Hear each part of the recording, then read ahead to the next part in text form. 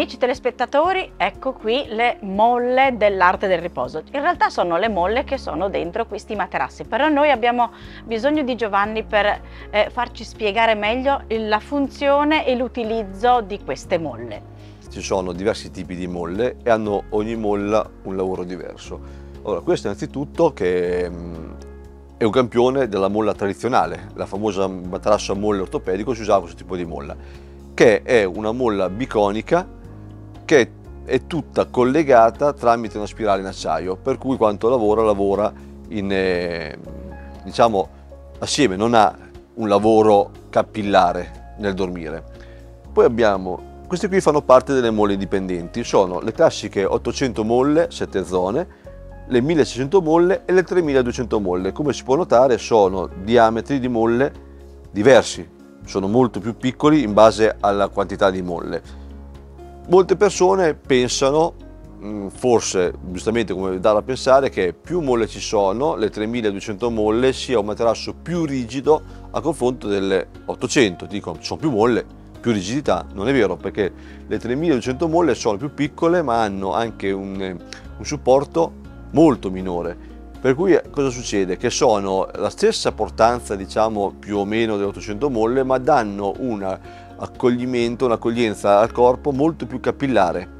È molto più, cioè tu dove spingi, vedi qui spingi una molla, qui è molto più grande, qua fa, fa corpo diversamente. Per cui più molle ci sono, tra virgolette, è quasi più morbido è, più capillare è nell'accoglienza. Poi dipende sempre, come si parlava prima, di come viene abbinato il sandwich, chiamiamolo, tra molle, strati superiori e bottitura, quello che viene. Ma di base le molle sono, sono la diversità di molle, si nota a occhio nudo la grandezza di molle, vede già tra le 1600 e le 3200 molle sono molto, nello stesso spazio ci sono molte più molle e sono molto più piccole, con molte più capillarità.